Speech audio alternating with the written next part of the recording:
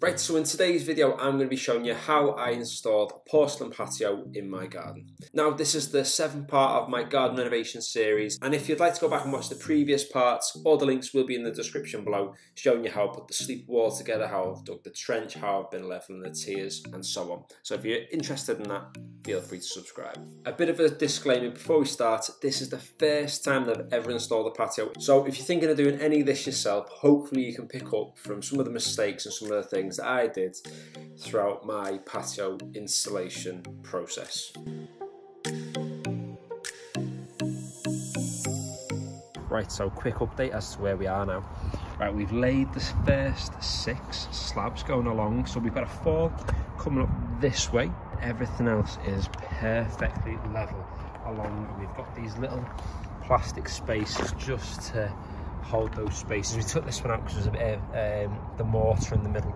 I thought we can always chisel that out and we're going to be filling it now anyway, so not a massive issue. You can see we've got everything uh, as perfect as we can possibly make it. So uh, a few challenges. We put the, the first two slabs down and um, they were just too low. And then when it came to doing the next one, where there was a slight bump in, in the hardcore, uh, it, it was awkward. It was the, the, it'd only be maybe half a centimetre worth of, of the actual mortar, so we had to take up the first two slabs. Luckily, they hadn't set. They'd only been down for maybe half an hour, and then we added more mortar on top, and then it's been perfect for the rest. So hopefully now, as we crack on, we're going to finish the rest. But it's been about four and a half hours, and we've done six slabs. So we're going to do a little bit more whilst the weather's not too bad and yeah, see where we get to.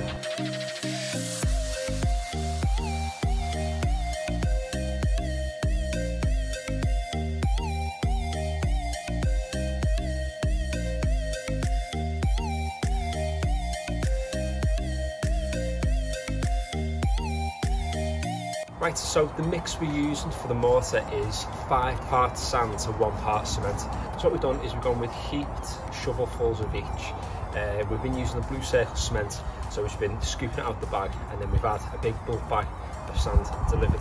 Now, uh, I do mix it initially with the spade and then after that, I just get my hands in there. Probably not the best way to do it, but it seems to mix it up a little bit easier it seems better on the back and you get a more of a, a finer mix as well from doing it.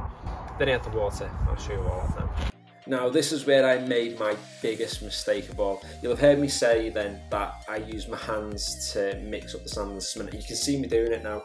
And the biggest problem with this is that when I went in that night, I had all these small cuts on my hands and there was loads of sand embedded into them. It took ages and ages trying to get it out with a face cloth and just trying to soak it in warm water and lots of it didn't come out for a couple of days.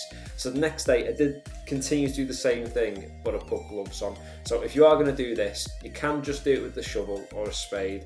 It does take long and if you want to get your hands in there, just get gloves on. Otherwise, you'll have the same problem as me and you'll just rip your hands to bits.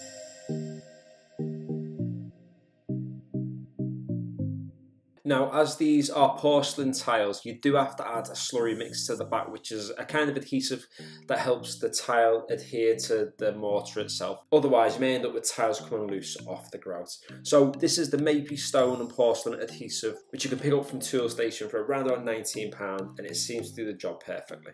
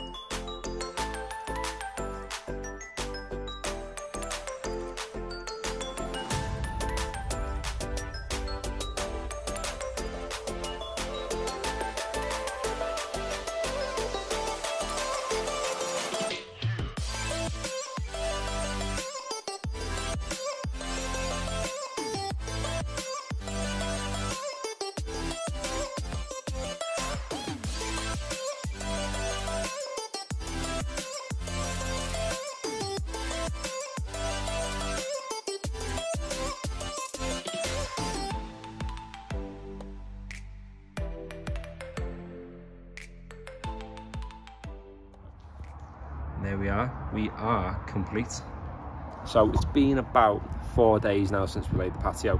I've taken out all the spaces, I've left them on the side, uh, and all the gaps are looking absolutely perfect. I've been around most of it, well, it seems all of it's fully set now. You can walk on it, it's completely fine. So the next thing we've got to do is we've got to fill these gaps with some of the grout. And hopefully in the next video, I'll be putting the grout in and finishing the patio off itself. So if you have enjoyed this video and you do want to follow along with the rest of the renovation, feel free to subscribe. If you enjoyed this video as well, feel free to give it a like and thanks for watching.